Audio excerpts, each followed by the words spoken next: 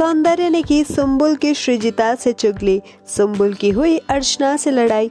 Well big boss के घर में हमने देखा सौंदर्य सुम्बुल के बात को इधर से उधर मसाला लगा कर घुमाने की बात कहती है वहीं सुम्बुल अपने रूल्स फॉलो कराने की घर वालों से बात कह रही होती है। सौंदर्य और सुम्बुल अर्चना से चाय ना बनाने को कहते हैं। अर्चना से सौंदर्य दस मिनट रुकने को कह रही होती है।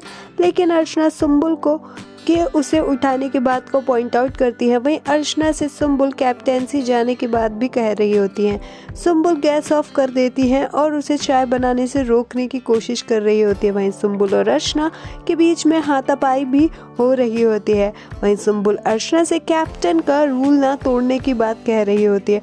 अर्चना सुम्बुल से ना छेड़ने की बात भी कहती हुई नज़र आती है। अर्चना चाय बनाने के लिए लड़ लेती है। वहीं निमृत सभी से नाराज़ हो जाती है और नाश्ता ना बनाने की बात कहती है। ट्रैक में आगे हमने देखा कि सुम्बुल अर्चना से बदतमीजी पे उतर आने की शिकायत साजिद से कर रही होती है। वहीं श्रीजिता सुम्बुल से अर्चना के अलाउ करने पर सबको अलाउ करने की बात कहती हैं। अब दो प्रियंका पर चिल्ला कर चले जाते हैं वहीं जिसके बाद शालीन प्रियंका से निमृत की कई बातें बता रहे होते। निमृत ब्रेकफास्ट टाइम पर नहीं बना पाती। प्रियंका अब्दू पर चिल्लाई हुई बात भी श्रीजिता से कह रही होती है। वहीं प्रियंका अब्दू के निमृत से प्यार होने की बात को पॉइंट आउट करती है।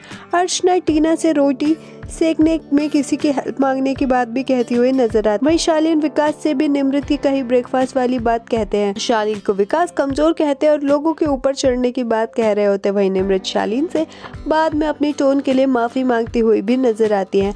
वेल आपका अर्चना और सुम्बुल की इस लड़ाई पर क्या कुछ है कहना, हमें कमेंट्स में ज़रूर बताएँ। बिग बॉस की अपडेट्स के लिए हमारे चैनल को सब्सक्राइब करें।